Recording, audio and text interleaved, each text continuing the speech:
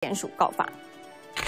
蓝营群组以及挺郭社团同步出现多个账号，散布署名为“台湾阿明”的公开信，其中一段内容写道：“就在这周六集中火力票投侯友谊、赵少康，这是我的心愿，更是诚挚的请托。”第一时间，蓝营媒体中华新闻云以未署名方式报道，结果这封信是他搞的，不敢说是我写的，但是是我接手的。我们大家这个就他的我们的想法。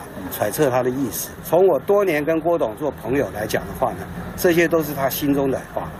我想我帮他讲出来。台湾阿明的信原来是一篇幻想创作文。郭办澄清，这封信并非郭办发出的，已交由律师处理。民众党则提告国民党意图使科不当选。在社群媒体上面系统性的操作这样子的一个不实的讯息，这些行为都已经都已经。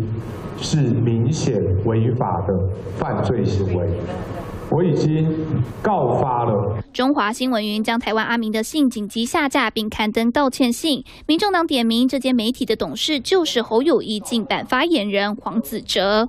我们直接看到了当中的董事黄子哲，他就是现任的侯友谊竞选办公室的发言人。侯友谊办公室包含我，包含我们所有的人，不是所有的干部，对于。